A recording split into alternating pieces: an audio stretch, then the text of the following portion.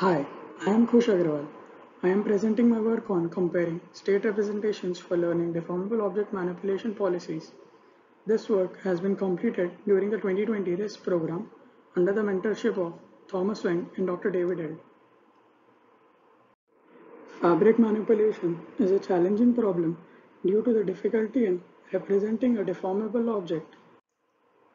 Rigid body, unlike deformable objects, can be represented by their mass, shape and physical properties as they remain fixed with a sequence of manipulations.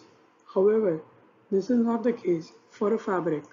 Thus, learning an abstract representation becomes vital in successfully solving a deformable object manipulation task. Previous works have used ground truth 3D coordinates, dense descriptors for representing a fabric we build upon these approaches and develop an algorithm to learn deformable object manipulation tasks. The first method we use for representing a fabric is by using the 3D coordinates of the corners of a fabric.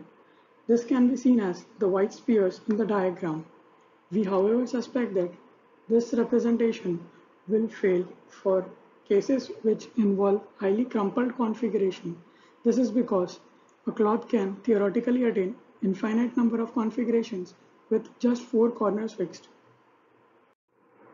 Our second method uses dense descriptors based on representations which are trained by minimizing the distance between corresponding pixels and separating the pixels which do not correspond. This representation is however high dimensional and decreases sample efficiency for learning a policy Hence, we sample a few points from the descriptor set by finding a correspondence at every time step. Finally, the setup we have is as follows.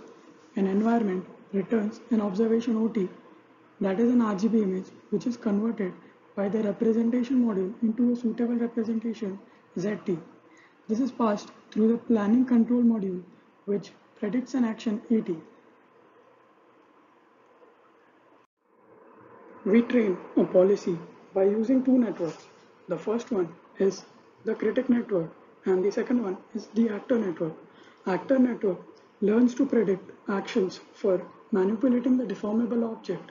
Critic network learns to predict a Q value to rate the action predicted by the action network.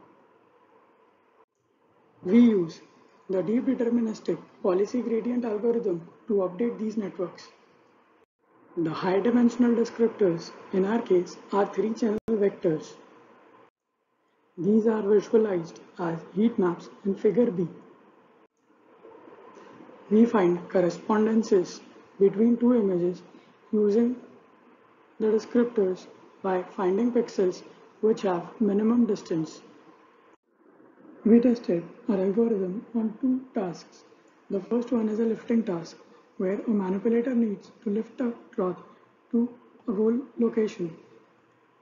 We were able to solve this task within 20 episodes. Second task is a diagonal folding task where a manipulator needs to fold a cloth diagonally to a goal location. This task was solved in 40 episodes. Future directions include improving descriptors for highly crumpled fabric configurations the current descriptors do not explicitly consider highly crumpled configurations. The other direction is transferring the policies learned in simulation to real world. I would like to thank Dr. David Held and Thomas Weng for mentoring me. Also, I would like to express my gratitude to all the sponsors for supporting my project.